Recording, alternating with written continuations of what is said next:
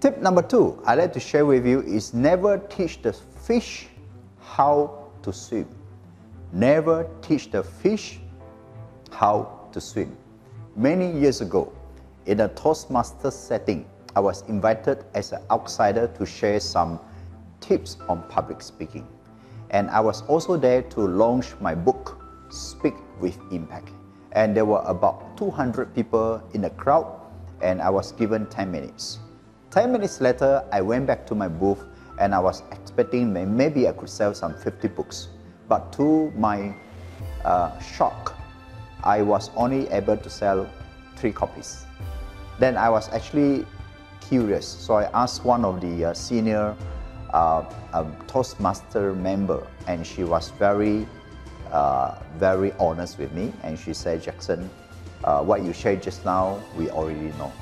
Yeah, we are all experienced speakers, and you share this with us. So I was, I was like uh, speechless, and I was like thinking, what do they really know?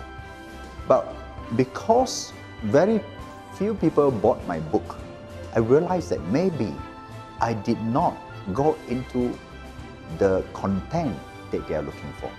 So very importantly, ladies and gentlemen, do not teach the fish how to swim because the fish already know how to swim.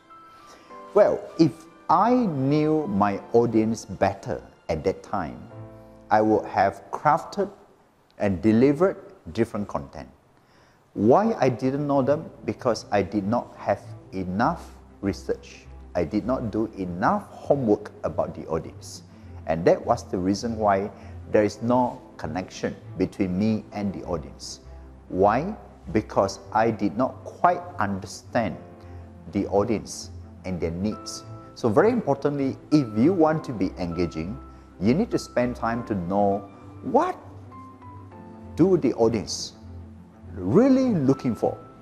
What are they uh, really want to learn? What do they really want to listen?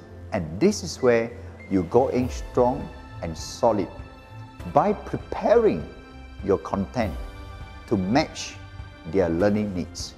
Thank you for watching this video. I see you in the next video.